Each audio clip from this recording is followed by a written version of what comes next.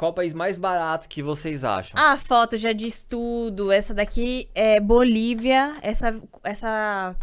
Eu vou contar essa historinha aqui pra vocês. Nós estávamos na Patagônia e dá pra você fazer Patagônia com o salário de Uni. E a gente Atacama. começou. É Atacama, com o salário de Uni. E nós estávamos andando na vilinha, a gente tinha acabado de chegar no destino e publicado um vídeo. A gente entrou na lojinha, na agência de viagem, pra perguntar sobre o pacote da, da Bolívia. Porque a gente tava lá na, na- no Atacama a convite de uma outra empresa. Aí a empresa falou: vocês postaram esse vídeo aqui, eu gostei, não sei o quê. Aí a empresa falou: eu te dou o passeio e você divulga a minha empresa. E tinha uma outra empresa do lado, que era tipo no mesmo escritório, falou assim: ah, já que você vai fazer o passeio com eles, eu pago pra vocês. Então a gente conseguiu dois trabalhos numa ruazinha assim andando, porque o cara reconheceu o nosso vídeo durante a nossa visita lá na lojinha. Então esse passeio aqui, mas a gente perguntou pra eles, custava 250 dólares por pessoa, Era muito barato. Três dias e duas noites. É viagem Com- pelo salário de Uni, né? Essa aqui é, você tá vendo um deserto, mas na verdade é o salário de Uni, onde, dependendo da época, né, chove e fica espelhado e mistura o chão com o céu, fica uma paisagem Tem assim, muitas paisagens bonitas É. na Bolívia, muitas. É um dos meus lugares pra- favoritos, assim. Principalmente você que tá começando a viajar agora, que é uma dica de lugar barato e próximo.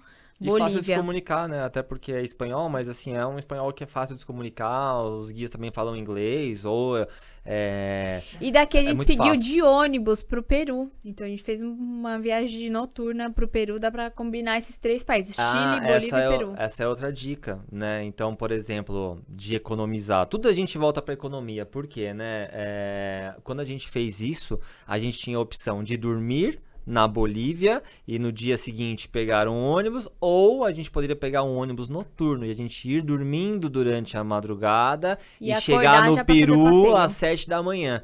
E aí, ou seja, a gente pegou um ônibus noturno, escolhemos essa opção, automaticamente não gastou com hospedagem, porque durante a noite a gente estava dormindo no ônibus, né? Pena que, né? Gente, vou contar um fato muito Um perrengue. perrengue pra vocês. Tem uma pergunta mais pra frente de perrengue, que é mais. Quer Posso falar, falar agora? Não, fala agora já. É, teve um perrenguinho, perrenguinho não, porque a gente acabou perdendo um drone nessa viagem de ônibus.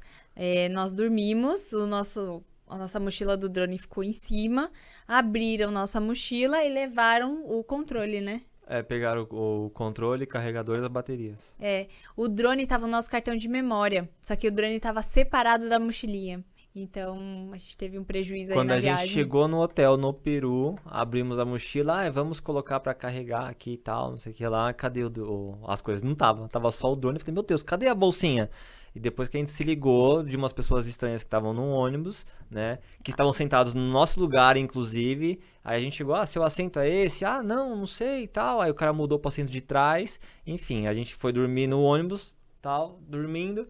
É, E eles aí aca- abriram, acaba estragando a viagem, né? estragou a viagem. Fica e chateado. Depois... Até a gente tem que voltar uma vez pro Peru pra tirar É. esse.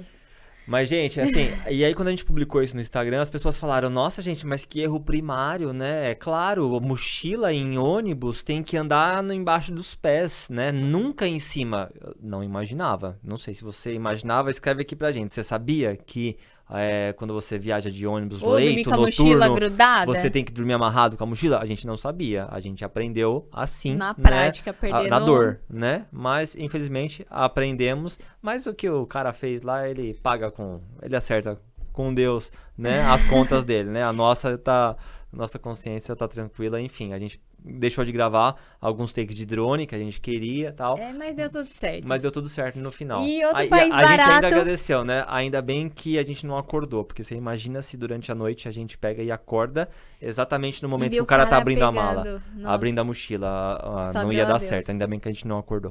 Vamos voltar aqui. Outro país barato. Outro país barato que a gente amou, assim. A Filipinas é um lugar que eu voltaria, assim, porque eu amei as pessoas, amei tudo. Um país. A gente gastou acho que 7 mil reais cada um, com Ah, aéreo, a hospedagem e tudo. Filipinas é barato, a gente adorou, mas aí lá tem os tuk-tuks, né? Como é que é o nome? Tuk-tuk. É, o tuk-tuk. E aí a Fernanda, a gente negociava o tuk-tuk. Eu não sei o nome da- do dinheirinho da- das Filipinas, deve ser o filipino, mas enfim. É, eu lembro que a conversão era muito baixa e eu sei que uma corrida daqui até ali na conversão, sei lá, ia dar 5 reais e a Fernanda negociava. É que tá no sangue, gente, a negociação. E os caras baixavam o preço. Tá bom, então eu faço por tantos Aí depois eu fazia o cálculo e falava, caraca, eu tô explorando. Gente, a Fernanda negociava os dinheirinhos dos caras, mas dá certo, né? É, então, a- outra dica, né, de, de economia. Sempre nunca negocie. aceite o primeiro preço.